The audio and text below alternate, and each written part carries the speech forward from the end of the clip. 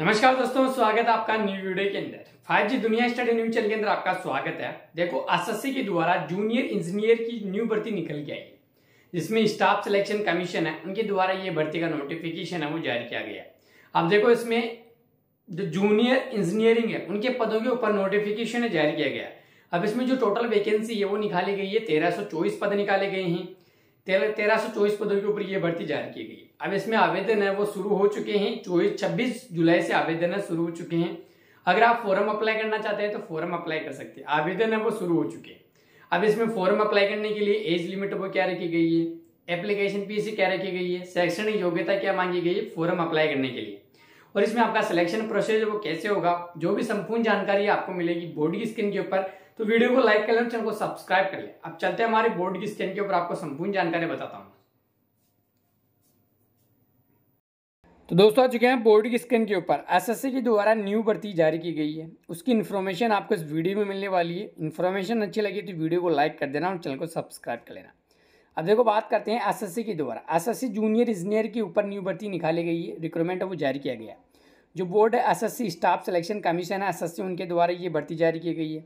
इसमें जो पोस्ट निकाली गई है, जो जूनियर होता है इंजीनियर जीई के ऊपर इसमें पद निकाले गए हैं जेई के ऊपर। अब आगे बात करते हैं नेक्स्ट इसमें जो टोटल पोस्ट है वो कितनी रखी गई है। टोटल पोस्टों की बात करते हैं एसएससी के द्वारा तेरह सौ चौबीस पोस्टें निकाली गई है। तेरह सौ चौबीस पदों के ऊपर ये भर्ती जारी की गई है। अब इसमें जो जॉब लोकेशन है ऑल इंडिया का जो भी स्टूडेंट है, इस भर्ती के लिए फॉरम अप्लाई कर सकता है। तेरह सौ चौबीस पदों के लिए। आगे नेक्स्ट बात कर लेते हैं फोरम है, वो शुरू हो चुके हैं। देखो फोरम है स्टार्ट हो चुके हैं। स्टार्टिंग जो फोरम है, वो छब्बीस जुलाई दो हज़ार तेईस से फोरम स्टार्ट हो चुके हैं।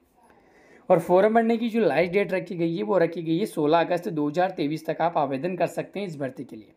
इस भर्ती में आपका एग्ज़ाम का इन्फॉर्मेशन भी है कि आपका एग्ज़ाम डेट है, वो कब लगेगा आपका एग्ज़ाम जो भी फॉर्म भरेगा स्टूडेंट एस जूनियर इंजीनियर भर्ती के लिए। देखो, इसमें छब्बीस जुलाई से फॉरम स्टार्ट हो चुके हैं। Last date of form apply करने की सोलह अगस्त रखी गई है और आपका एग्ज़ाम अब अक्टूबर के अंदर लगेगा। अब अक्टूबर डेट जारी कर दी जाएगी। अक्टूबर के अंदर कभी भी आपका एग्ज़ाम लग सकता है इस भर्ती का।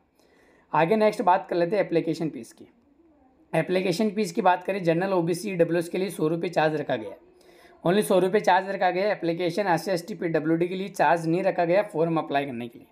किसी भी प्रकार की एप्लीकेशन फ़ीस वो नहीं रखी गई। पेमेंट आपका जो भी general O B C W का होगा, सौ रुपये वो ऑनलाइन आपको पे करना होगा।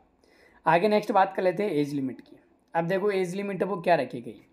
एज लिमिट की बात करते हैं एस जूनियर इंजीनियर भर्ती के लिए। एज लिमिट है आशासी जूनियर इंजीनियर भर्ती के लिए। आयु सीमा पदों के अनुसार अधिकतम बत्तीस वर्ष तक रखी गई। यानी थर्टी टू इसमें वर्ष रखी गई। इस भर्ती में आपकी आयु की गणना होगी एक अगस्त दो हज़ार तेईस को आधार मानकर की जाएगी।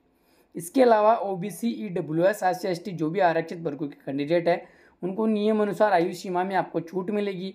देखो, ये छूट तो सब में मिलती है, जो भी भर्ती आती है S C O B C W S S C S T का जो भी कैंडिडेट है, ये भर्ती की छूट है, वो सबको दी जाती है। अब इसमें आपको दो या तीन साल की छूट दी जाएगी तो वैसे इसमें बत्तीस वर्ष रखी गई आयु सीमा। अब आगे देखो नेक्स्ट बात करते हैं वैकेंसी पोस्ट और शैक्षणिक योग्यता की। अब आशा से जूनियर इंजीनियर भर्ती के लिए जो यहाँ पे पोस्ट यहाँ पे वैकेंसी यहाँ पे हो गया योग्यता जूनियर इंजीनियर जेई के ऊपर तेरह सौ चौबीस पदों के ऊपर ये भर्ती जारी की गई है। अब देखो इसमें शैक्षणिक योग्यता आपके पास डिप्लोमा को डिग्री है। इंजीनियरिंग से आपने कोई डिग्री कर रखी है, आपके पास कोई डिप्लोमा है वही अप्लाई कर सकता है। इसके अंदर जो स्टूडेंट है, वो अप्लाई नहीं कर सकता है। जो बीए कर रखी है ट्वेल्थ कर रखी है, वो स्टूडेंट के लिए वैकेंसी नहीं है। आपके पास डिग्री होनी चाहिए इंजीनियरिंग से आपने कर रखी है। डिग्री या डिप्लोमा जो भी आपके पास है, वो फॉरम अप्लाई कर सकता है स्टूडेंट आगे नेक्स्ट सिलेक्शन प्रोसेस की बात करते हैं। सबसे पहले तो आपका इसमें C D C B T exam होगा ऑनलाइन रिटर्न एग्ज़ाम लगेगा। उसके बाद में आपके डॉक्यूमेंट्स वो वेरीफिकेशन होंगे, फिर आपका मेडिकल एग्जामिनेशन होगा। तो आसासी जूनियर इंजीनियर भर्ती के लिए ये सिलेक्शन प्रोसेस रखा गया है। अगर आपको ये भर्ती की जानकारी और इन्फॉर्मेशन अच्छी लगी तो वीडियो को लाइक कर देना और चैनल को सब्सक्राइब कर लेना। देखो, बहुत सारे ऐसे स्टूडेंट विद्यार्थी जो चैनल को सब्सक्राइब कर नहीं कर रखे हैं और वीडियो को देखते हैं। तो कोई दिक्कत नहीं है। चैनल को सब्सक्राइब कर लो यार। चैनल सब्सक्राइब करने के आपको पैसे नहीं लग रहे क्योंकि जैसे मैं इन्फॉर्मेशन अपलोड करूँ कोई भी वीडियो तो आपके पास उसका नोटिफिकेशन पहुँच सके। बहुत सारे ऐसे कैंडिडेट हैं जो लास्ट डेट आती है पास में, या लास्ट डेट है, तब मैसेज करते हैं कमेंट करते हैं कि इसमें योग्यता क्या रखी गई है। या कोई इन्फॉर्मेशन अलग से, जो भी उनको डाउट है, उस प्रकार से वो कमेंट करते हैं। तो आप चैनल को सब्सक्राइब करके रखेंगे ना, तभी आपके पास नोटिफिकेशन पहुँच पाएगा। तो आप उसकी इन्फॉर्मेशन देख सकेंगे। जैसे ही भर्ती आती है, मैं वैसे ही वीडियो अपलोड कर देता हूँ। चैनल को सब्सक्राइब करके रखिए और बेलाइकन ऑन करके रखिए।